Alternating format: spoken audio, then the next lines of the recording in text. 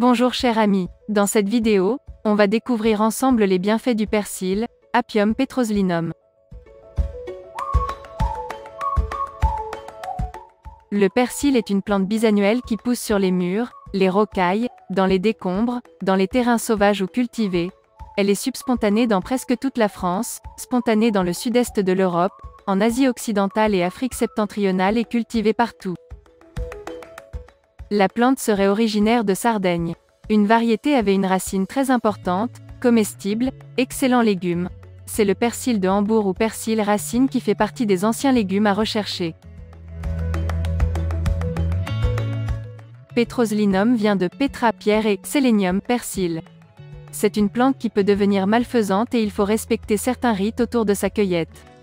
C'est ainsi que jusqu'au début du XXe siècle, on le faisait semer par un enfant, un arriéré ou un insensé.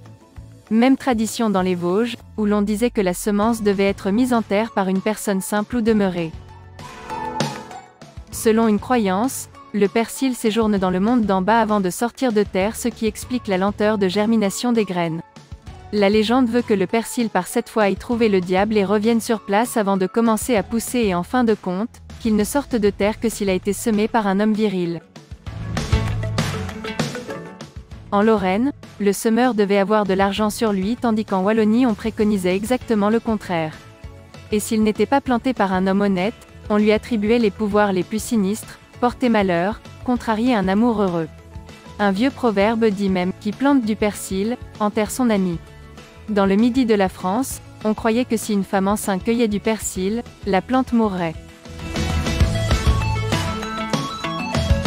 Le persil est une plante condimentaire très répandue.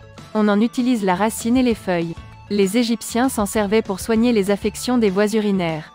Les médecins de l'Antiquité employaient la racine comme diurétique mais les Romains ne le tenaient pas en haute estime, pensant qu'il provoquait la stérilité et donnait le haut mal, épilepsie, aux enfants si leur mère en consommait pendant l'allaitement. A contrario, un botaniste flamand de la Renaissance le donne pour un remède contre l'épilepsie, mais aussi contre l'asthme et la toux.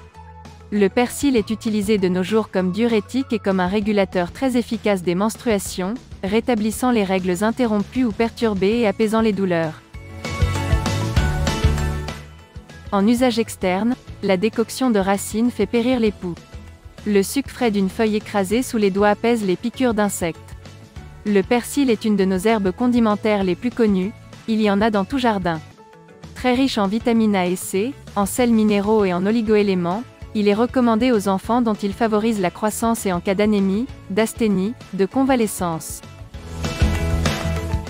En usage domestique, il joue de nombreux rôles, les graines sont employées en compresse sur les chevilles enflées, le jus de persil permet de nettoyer la peau et d'en faire disparaître taches de rousseur et petits boutons. Une poignée de feuilles hachées et mise à macérer 12 heures dans l'eau froide constitue une lotion anti-rides. Broyé dans le creux de la main avec un peu de sel et introduit dans l'oreille, il apaise les douleurs dentaires en attendant le dentiste. La décoction de semences favorise la repousse des cheveux.